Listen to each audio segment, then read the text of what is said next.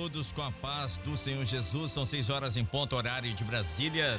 Desta segunda-feira, hoje, 6 de novembro de 2023. Muito bom dia, paz do Senhor a você, nosso irmão, a você, nossa irmã, que está aqui no Brasil, a você que está no exterior. Sejam todos muito bem-vindos a mais um culto de madrugada pela Rádio Manaí.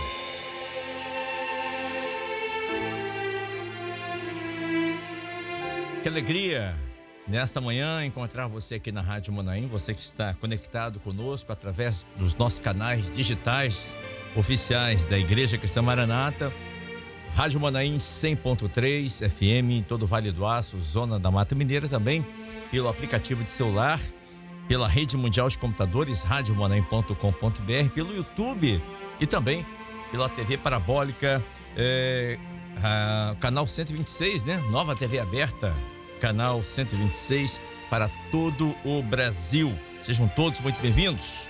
Conosco nessa manhã, estamos recebendo aqui nos nossos estúdios os pastores Fabiano Polonini, Alcilésio Pedro dos Santos, pastor Edson Souza e pastor Jaderson Rosa.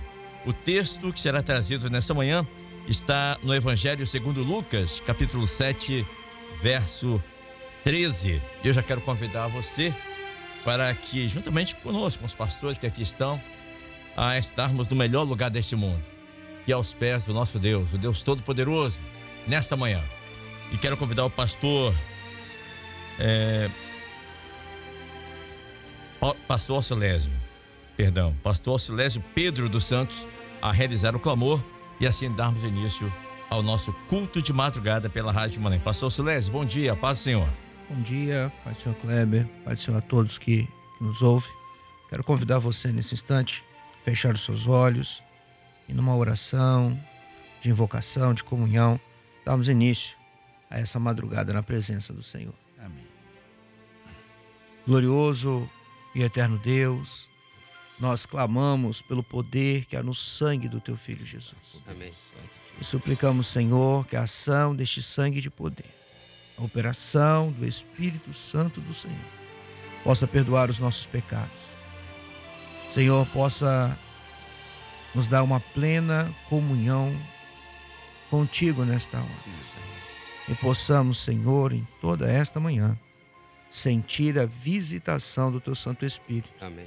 Em nome de Jesus. Amém. Amém. Amém.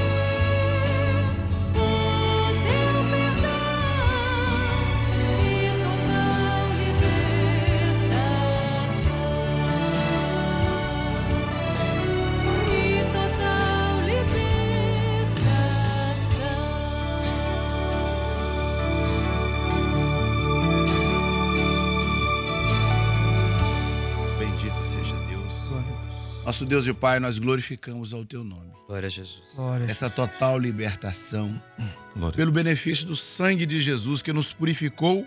Aleluia. E em comunhão através do Espírito, nos tornamos filhos, Pai. Glória Nesta obra gloriosa e redentora Glória a Deus. Glória que tu fazes nos nossos dias, Senhor. Glorificamos pelos cultos nas igrejas esse Aleluia. final de semana. Glória a Jesus. O Seminário Unidos em Família, Senhor, nos Manaíns, aqui e em todo o Brasil, os encontros. Porque em tudo isso vemos a mão do Senhor. E glorificamos também pelo momento profético, onde o Senhor tem preparado a tua igreja. E feito da tua igreja luz, um farol neste mundo. E as profecias se cumprindo e o teu povo edificado na tua presença. Glorificamos a ti, Pai, de todo o coração, por todo este benefício da salvação, em nome de Jesus. Amém. Amém.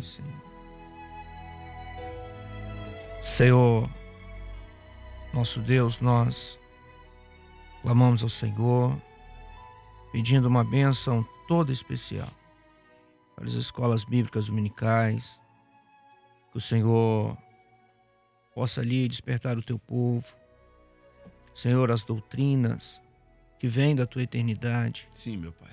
Possa preparar o teu povo para o arrebatamento. Prepara.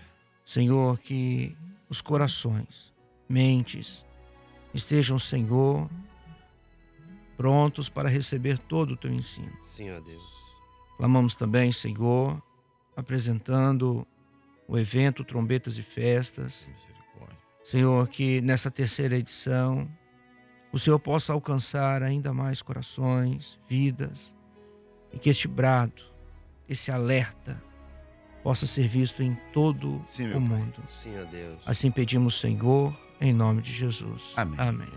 Oramos também, Senhor, pela tua obra no Brasil, no exterior, para que haja o crescimento, a edificação do teu povo na doutrina na operação do teu Espírito Santo. Conduz Sim, o teu povo, abra as portas, que as fronteiras não sejam barreiras, mas que o teu Espírito possa avançar a cada dia mais e a tua Sim, obra crescer. Deus.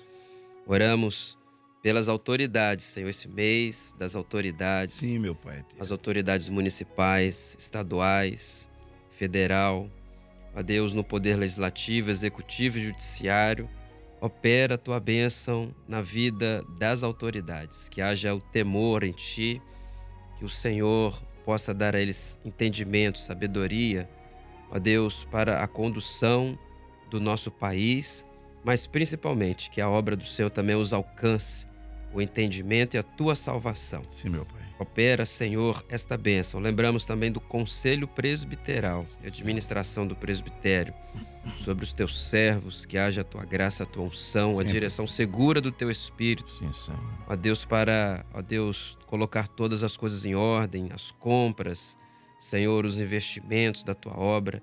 Opera assim a tua bênção. Lembramos do nosso querido pastor Gedeuti. Cuida do teu servo, de saúde, de prosperidade, Senhor, na palavra, na doutrina, na revelação. E que a bênção do Senhor seja sobre o teu servo. Sim, meu Pai nós clamamos a Ti em nome de Jesus. Amém. Oramos, ó Deus, pelas transmissões realizadas pelos canais digitais oficiais da igreja, tanto pela rádio, Senhor, pela TV web, pelas TVs abertas que têm sido utilizado agora. Senhor, estes canais sejam em Teu nome Sim, para abençoar as pessoas.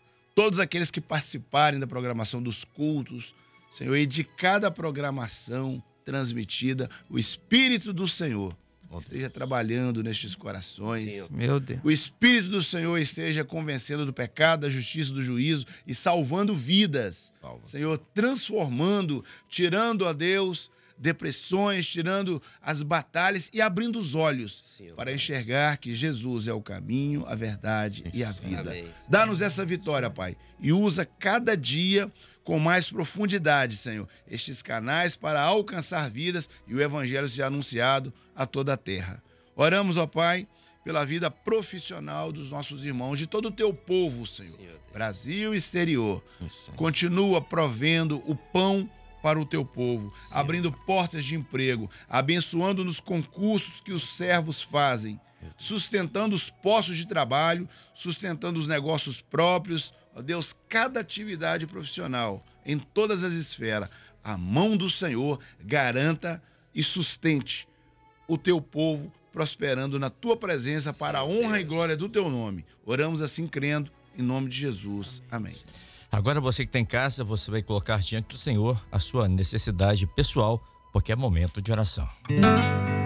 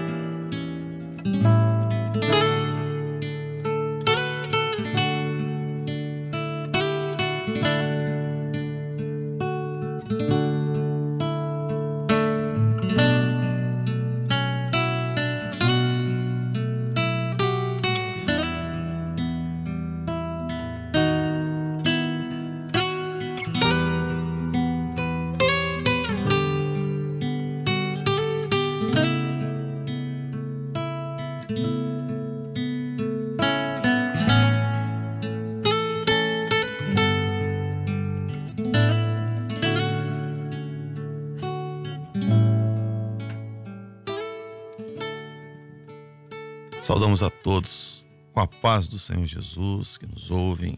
Nós vamos meditar na palavra do Senhor no Evangelho de Lucas, capítulo 7, versículo 13, que diz assim: E vendo-a, o Senhor moveu-se de íntima compaixão por ela e disse-lhe: Não chores.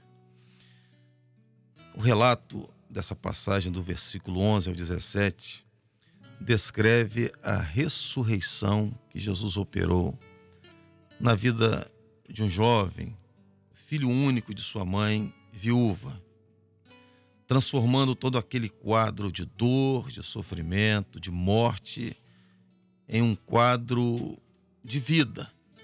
Portanto, um quadro de alegria para aquela mãe que chorava, sentia a dor daquela perda e já sendo também uma viúva.